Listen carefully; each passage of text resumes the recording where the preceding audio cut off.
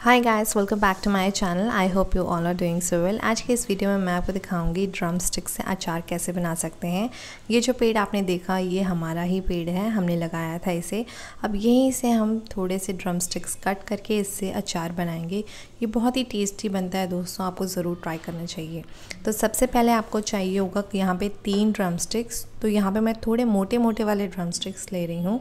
इन्हें पहले अच्छे से वॉश कर लीजिए और क्लीन करने के बाद आप अच्छे से कट कर लीजिए और फिर से क्लीन कीजिए। जैसे क्लीन कर लें, एक पैन रख लीजिए, इसमें थोड़ा सा तेल डाल लीजिए। करीबन तीन से चार स्पून तेल डालने के बाद इसमें जो भी ड्रम स्टिक्स हमने कट करके रखे थे, वो ड्रम स्टिक्स हम अभी इसमें डालेंगे। तो फ्लेम को बिल्कुल मीडियम फ्लेम में रखना है और जैसे आप डालते हैं, इसमें थोड़ा सा लाइटली साउंड आना स्टार्ट हो जाता है।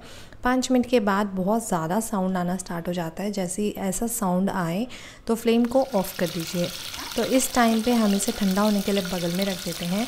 अब एक सेपरेट प्लेट ले लीजिए। इसमें एक बड़ा चम्मच मेथी के दाने ऐड कर लीजिए और वन एंड हाफ़ चम्मच इसमें राई ऐड कर लीजिए। अब इन्हें लाइटली फ्राई करना होगा। एक लो फ्लेम पे कढ़ाई रख लीजिए या तो कोई भी पैन रख लीजिए। लो फ्लेम पे इसे अच्छे से भून लीजिए। तो पाँच मिनट के लिए भून लीजिए। इसमें थोड़े से क्रैकिंग साउंड आने स्टार्ट हो जाएँगे। तब फ्लेम को ऑफ़ करके ठंडा कर लीजिए। जैसे ये ठंडा हो जाए, एक ग्राइंडिंग जार में डाल के इसे फाइन पाउडर करना है हमें। तो इसमें मैंने पूरा डाल लिया है। ढक्कन लगा के इसे कवर करके ग्राइंड कर लूँगी तो यहाँ पे मैंने ग्राइंड कर लिया है, अब इसमें ट्रांसफ़र कर लेते हैं। तो ट्रांसफ़र करने के बाद इसमें ऐड करेंगे वन एंड हाफ़ स्पून से थोड़ा सा ज़्यादा नमक और नमक ऐड करते ही इसमें थोड़ा सा हल्दी भी ऐड कर दीजिए। अब इसमें हम ऐड करेंगे मिर्ची। यहाँ पे मैं टू स्पून्स एंड थोड़ा सा और मिर्ची ऐड कर रही हूँ। ऐड करने के बाद लो फ्लेम पे एक सेपरेट कढ़ाई रख लीजिए या तो छोटा सा पैन रख लीजिए। इसमें चार से पाँच स्पून तेल डाल लीजिए। जैसे हल्का सा गर्म हो जाए, चना दाल और थोड़े से उड़द दाल इसमें डाल के फ्राई कर लीजिए। इन्हें हल्का सा फ्राई करने के बाद इसमें हम डालेंगे थोड़ा सा राई और चार से पाँच लहसुन, ये ऑप्शनल है दोस्तों। उसके बाद इन्हें अच्छे से फ्राई कर लीजिए। तो जैसे ये हल्का सा फ्राई हो जाए, इसमें हम दो स्पून इमली का पेस्ट ऐड करेंगे। तो यहाँ पे जैसे आप ऐड कर लें, इसे अच्छे से मिक्स कर लीजिए। और यहाँ पे जो इमली का पेस्ट मैंने दिखाया है, इसका भी रेसिपी मैंने ऑलरेडी यूट्यूब पर अपलोड किया है, आप देख सकते हैं। उसके बाद दो से तीन मिनट के बाद मिक्स करने के बाद इसे भी हम इसमें ट्रांसफ़र कर लेंगे। तो ट्रांसफ़र करने के बाद कंटिन्यूसली दो मिनट के लिए मिक्स कीजिए। ये थोड़ा सा ऑयली और लिक्विडी लगेगा। बट दो से तीन मिनट के बाद ये बहुत ही पास आ जाएगा और ये थोड़ा सा टाइट हो जाएगा। तो अचार में जो ऑयल आपको दिखाई दे रहा है, वो बिल्कुल भी दिखाई नहीं देगा। इसलिए हम एक दिन के लिए इसे रेस्टिंग टाइम देंगे। उसके बाद क्या होगा? इसमें जो भी ऑयल है, वो निकल के बाहर आएगा। तो एक दिन इस तरीके से रखना बहुत ही ज़्यादा ज़रूरी है। तो ढक्कन लगा के एक दिन के लिए वेट करते हैं। तो आप यहाँ पे देख सकते हैं, एक दिन के बाद ऑयल जो है थोड़ा सा ऊपर आ चुका है। अब एक बार अच्छे से मिक्स करने के बाद आप इसे सर्व कर सकते हैं। चावल में इसे मिला के खाएँ, बहुत ही ज़्यादा टेस्टी लगता है ये। तो अगर आपको ये रेसिपी पसंद आए तो ज़रूर लाइक कीजिए शेयर कीजिए कमेंट कीजिए एंड डेफिनेटली सब्सक्राइब कीजिए। Thank you so much for watching until then take care bye bye hi guys welcome back to my channel I hope you all are doings well आज के इस video में मैं आपको दिखाऊँगी drum stick के पत्ते से दाल कैसे बनाते हैं।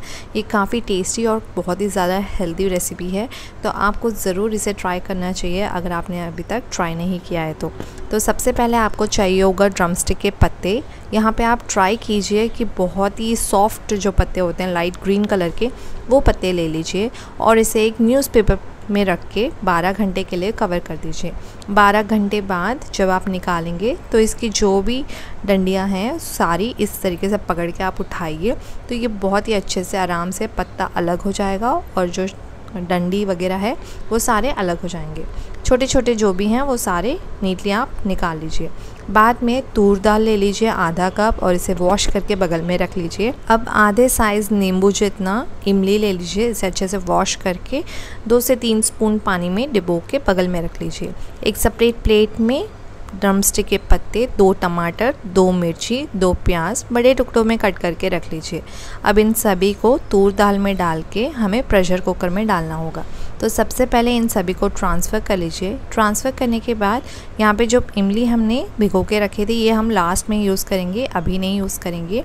तो अब हम इसमें पानी ऐड करेंगे तूर दाल में। तो जितना आपने दाल लिया था, उसका डबल पानी इसमें ऐड करना होगा। तो अब हम इसे कुकर में रख देते हैं और एक ढक्कन लगा के कवर कर देंगे। कम से कम चार से पाँच विज़ल आने तक के लिए वेट कीजिए। जैसे ही चार से पाँच विज़ल आ जाए तो फ्लेम ऑफ़ करके बगल में रख दीजिए। जैसे ही ठंडा हो जाए कुकर को ओपन करके देख लीजिए दाल कैसी बनी है। अगर आपकी दाल थोड़ी सी और कुक नहीं हुई है तो आप और थोड़ा विज़ल दे सकते हैं। यहाँ पे दाल बहुत ही अच्छे से कुक हो चुकी है। तो लो फ्लेम में हम रख लेंगे और इसमें डालेंगे नमक, दो चम्मच वन एंड हाफ़ स्पून मिर्ची। अब हम इसमें ऐड करेंगे इमली का रस, जो हमने भिगो के रखा था, उसे आपको अच्छे से स्क्वीज़ करना होगा। स्क्वीज़ करने से इसमें थोड़ा बहुत जूस निकल के आ जाता है। तो दो से तीन चम्मच जूस आप इसमें ट्रांसफ़र कर लीजिए।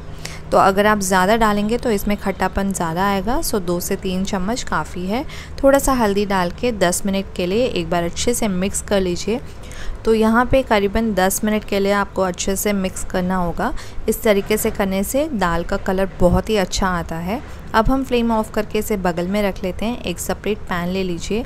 इसे लो फ्लेम में रख के दो बड़े चम्मच ऑयल डाल के इसमें उड़द दाल, जीरा, राई थोड़ा थोड़ा इसमें ऐड कर लीजिए और थोड़ा सा कड़ी पत्ता ऐड करके बहुत ही अच्छा तड़का हम लगा लेंगे इसमें। तो जैसे तड़का रेडी हो जाए, दाल में ट्रांसफ़र कर लीजिए गर्मा गर्म और इस टाइम पे फ्लेवर बहुत ही अच्छी निकल के आती है। तो आप इस दाल को ज़रूर ट्राई कीजिए, ये बहुत ही हेल्दी वर्जन है।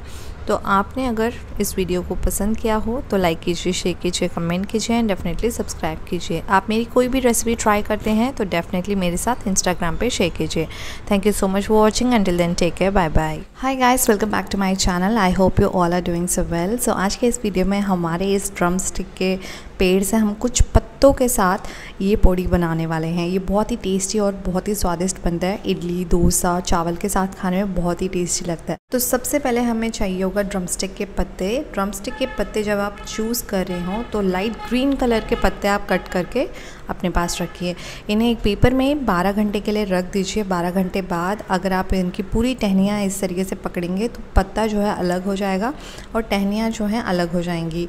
तो यहाँ पे पत्ता जो है बहुत ही आराम से निकल चुका है। ये बहुत ही अच्छा टिप है दोस्तों, आप डेफिनेटली ट्राई कीजिएगा। अब एक सेपरेट कढ़ाई ले लीजिए, इसमें चार चम्मच मूँगफली डाल के लो फ्लेम में इसे अच्छे से फ्राई कर लीजिए। जैसे पाँच से दस मिनट हो जाए, ये अच्छे से फ्राई हो जाए, इसमें ऐड कर दीजिए दो स्पून तिल। और तिल डालने के बाद दो मिनट ही फ्राई कीजिए, क्योंकि तिल को ज़्यादा टाइम नहीं लगता है फ्राई करने में।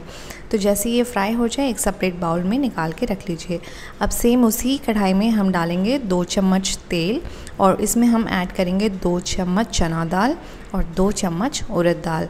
इन दोनों को हल्का सा फ्राई कर लीजिए दो से तीन मिनट के लिए। जैसे दो से तीन मिनट हो जाए, इसके बाद हम इसमें धनिया ऐड कर देंगे। यहाँ पर मैंने टू एंड हाफ़ स्पून धनिया ऐड किया है। इसे बहुत ही अच्छे कलर आने तक के लिए फ्राई कर लीजिए दोस्तों। इस तरीके से आप अगर फ्राई करेंगे, इसमें बहुत ही अच्छा अरोमा निकल के आता है। उसके बाद इसमें ऐड करें आधा चम्मच जीरा और एक कप सूखी लाल मिर्च। इन्हें डाल के अच्छे से फ्राई कर लीजिए। लो फ्लेम में रखिए फ्लेम को और आराम से टाइम लेके आप अच्छे से फ्राई कर लीजिए। जैसे मिर्ची भी थोड़ी सी लाल या मैरून कलर में चेंज होने लग जाए, उस टाइम पे फ्लेम को ऑफ़ करके इन सभी को एक सेपरेट प्लेट में रख लीजिए। अब सेम उसी कढ़ाई में एक चम्मच तेल ऐड करके यहाँ पे ड्रम स्टिक के पत्तों को ऐड करना है। यहाँ पे मैंने एक कप ड्रम स्टिक के पत्ते लिए हैं। उसके बाद हम ऐड करेंगे थोड़े से कड़ी पत्ता। तो दोस्तों, याद रखें, यहाँ पे कड़ी पत्ता ज़्यादा ना डालें। अगर आप ज़्यादा कड़ी पत्ता डाल देंगे तो उसी का पूरा फ्लेवर आएगा। तो थोड़े से कड़ी पत्ता डाल के लो फ्लेम में बहुत ही अच्छे से मिक्स कीजिए, फ्राई कीजिए। तो ये थोड़ा सा टाइम लेता है, बट बहुत ही टेस्टी लगता है। तो जैसे ही पाँच या दस मिनट हो जाएँ, ये बहुत ही अच्छा क्रंची टेक्स्चर लेने स्टार्ट हो जाता है। उस टाइम पर आप फ्लेम को ऑफ़ कर दीजिए। तो ये बहुत ही अच्छा क्रंची बन चुका है। फ्लेम को ऑफ़ कर दिया है मैंने।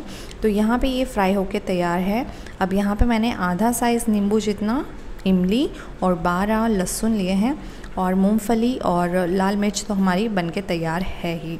तो अब इन सबको मिला के हम ग्राइंड करेंगे बट बैच वाइज सबसे पहले हम यहाँ पे ऐड करेंगे लाल मिर्च और जो भी हमने उड़द दाल चना दाल हमने फ्राई करके रखा था, वो सब ऐड कर देंगे और ड्रम स्टिक के पत्ते करी लीव्स इन सभी को ऐड करके ग्राइंड कर लेंगे। तो याद रखें, जब आप ग्राइंड कर रहे हों, एक बार मिक्स करके फिर रुक के एक बार मिक्स कर लीजिए। तो जैसे ही मिक्स करते हैं, ये कुछ इस तरीके से दिखता है। उसके बाद ऐड कीजिए मूँगफली, तिल, लहसुन और इमली। यहाँ पे जैसे कि मैंने आपको बताया था, आधा साइज़ जितना इमली मैंने यहाँ पे लिया है, इमली ऐड करने के बाद यहाँ पे हम ऐड करेंगे नमक वन एंड हाफ़ स्पून तो नमक डालने के बाद एक बार अच्छे से मिक्स कर लीजिए एक स्पून की हेल्प से. तो यहाँ पर मैंने मिक्स कर लिया आप ढक्कन लगा के इसे हम ग्राइंड कर लेंगे. तो याद रखें जब भी आप ग्राइंड करें, एक मिनट चला के फिर बंद करके फिर चलाएँ. उसके बाद देख लीजिए हमारा जो है ड्रम स्टिक लीफ का पूड़ी रेडी हो गया है. तो इसे आप गरम गरम चावल में घी डाल के मिक्स करके खाइए, बहुत ही टेस्टी लगता है। इडली के साथ, डोसे के साथ। डोसा जब हम बनाते हैं, उसके ऊपर स्प्रिंगल करके खाइए, बहुत ही टेस्टी लगता है। तो अगर आपको ये वीडियो पसंद आए तो ज़रूर लाइक कीजिए शेयर कीजिए कमेंट कीजिए एंड डेफिनेटली सब्सक्राइब कीजिए। अगर आप मेरी कोई भी रेसिपी बनाते हैं तो इंस्टाग्राम पर मेरे साथ शेयर कीजिए। Thank you so much for watching until then take care bye bye